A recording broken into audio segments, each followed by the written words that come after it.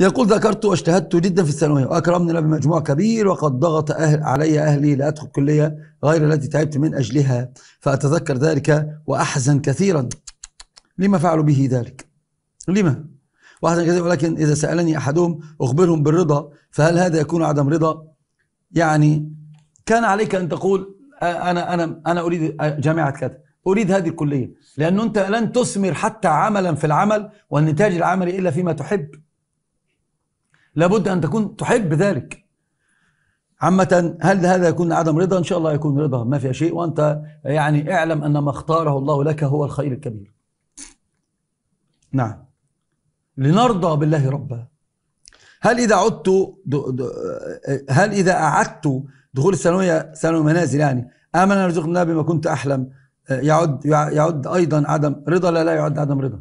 أنت عليك أن تحصل ما تريد. ولك هدف قاتل من أجل أن تصل إليه. قاتل من أجل أن تصل إليه. ليس فيها ثمة شيء. ماذا أفعل لكي يستريح ويطمئن داخلي يبقى عليك إعادة الثانوية العامة وعليك المذاكرة. وعليك الشدة على نفسك لتصل للجامعة التي تريدها تريد ترتاح؟ افعل ذلك. أعدها ولو من كما تقول منازل. أعدها واجتهد اجتهادا عظيما حتى تصل إلى ما تصبو إليه. إنما العلم بالتعلم وإنما الحلم بالتحلم وأيضا يعني الأمر ليس أماني. من طلب العلا سهر الليالي.